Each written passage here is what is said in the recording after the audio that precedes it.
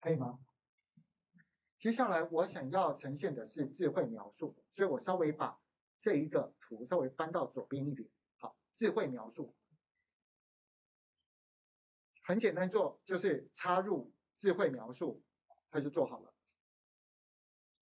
那重点是我现在要讲解是内容，所以我把这个字全选放大。请问这边我需要刻意讲解这些是怎么操作吗？不需要吧？好。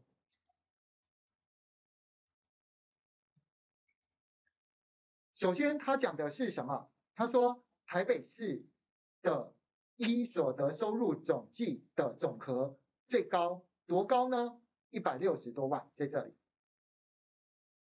但他的讲法，他他是机器讲出来的，可以理解哦。所以他就讲的，你不要到时候讲的像机器人，千万不能学机器人讲话。但是你要理解机器人在讲什么，知道哦？好。然后接下来重点是这些数字，这些数字是不是你要在消化？例如说，当我点到二零一八年关掉二零一七年的时候，请问这数字是不是都有跟着在做改变？这样理解吗？好，所以我接下来其实功能操作很简单，就是插入智慧描述。可是你要看这里面，这里面的比较重要的事情。